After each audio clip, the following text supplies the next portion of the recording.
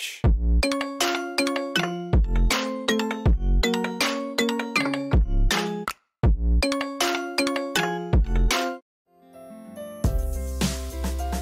Catch Me Baby, an upcoming Thai drama produced by BR Cave Studio, starting from this October 6 every Thursday on WeTV.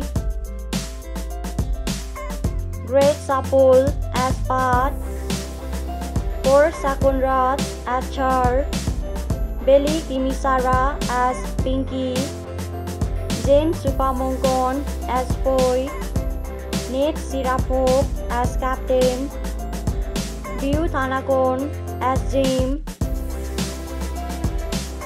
Pat is the ultimate relationship juggler under the guise of an executive assistant for Xiao, who has a total of five girlfriends.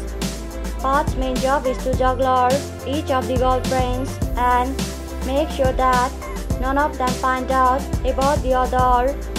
Nothing is as easy as it seems, especially with the mysterious arrival of Char, the new female executive assistant, who later reveals herself to be an infidelity detective. As Pat's relationship juggling missions becomes more challenging, he employs the help of Pinky, his adopted sister with a performance age, Jim and Captain, who happens to be Poi's rival. It's a cat and mouse game between Pat and Char as their missions often intersect, making it hard to keep their feelings for one another strictly professional.